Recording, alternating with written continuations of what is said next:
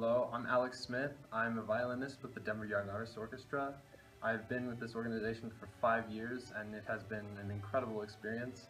We play an unbelievable selection of repertoire with some of the best instructors and best young musicians in Colorado.